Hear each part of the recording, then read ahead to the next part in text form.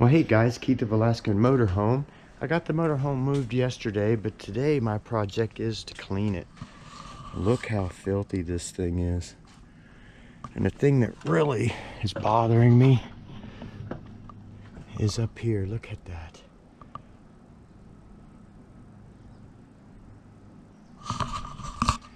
It's all from that birch tree. You can literally sit out here some days and it looks like sprinkles of rain coming down, but it's this, whatever it is coming out of this tree.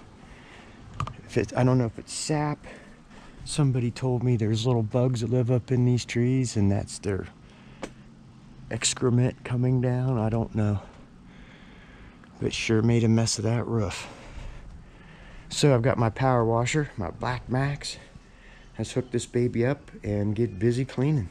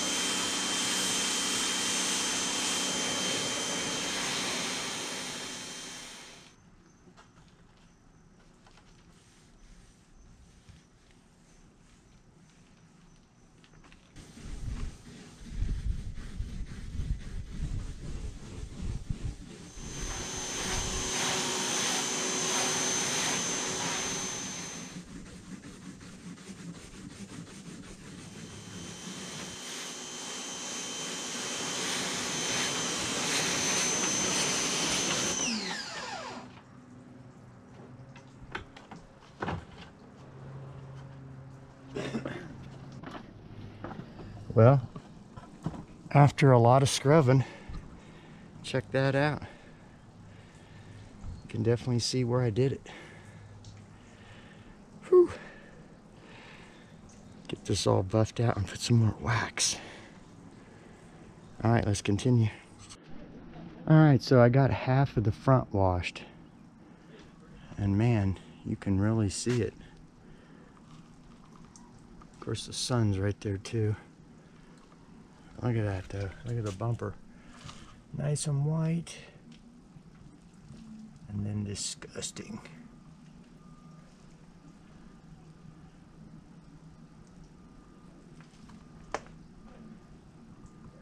All right, we're getting somewhere.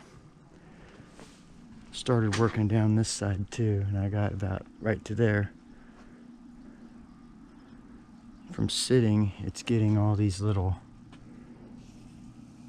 spots all over it and you have to scrub that off. Never park under a birch tree.